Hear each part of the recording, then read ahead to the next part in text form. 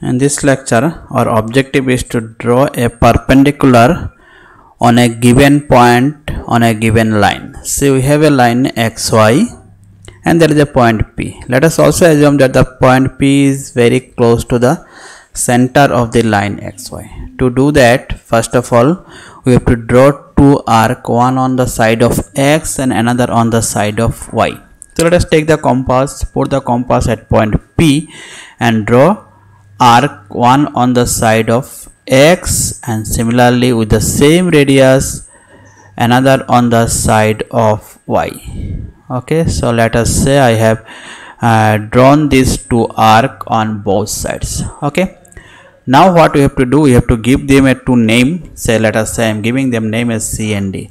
Now take a radius which will be little bit more than the previous radius. I have taken a radius of little bit more than this. Okay. Now move your uh, compass at this point. Let us say this point is c at point c and as well as uh, make the again make the center at d. Now with the same radius draw two arc on the same side of line p. Okay. Uh, let us adjust it still little bit okay so at exactly on point c now my compass is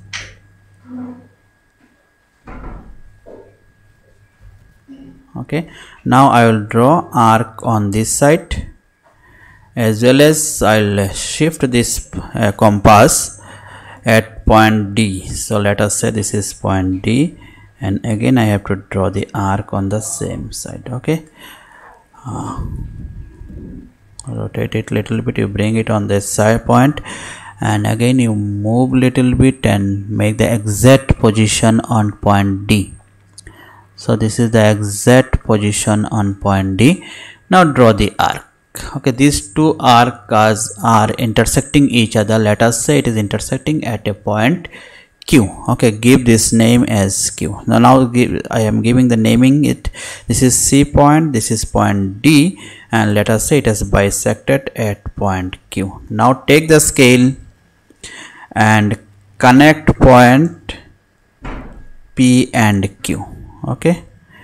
So bring it here exactly see see that it should it should exactly bisect each other and it is now exactly it is connecting. Okay let us say it is uh, okay this is the part it is a crucial part you have to check it properly you have to rotate the scale if required. Little bit required it is here. Okay now you take a different color so that you can identify it properly. Take a different color and now join them. Okay so the line that I have joined this is the line PQ now you can check it out. You take this one and uh, put it exactly over here and check whether the angle is 90 degree or not. Yes. See exactly the angle is 90 degrees so this is the required line PQ which you have drawn perpendicular on point P over the line XY okay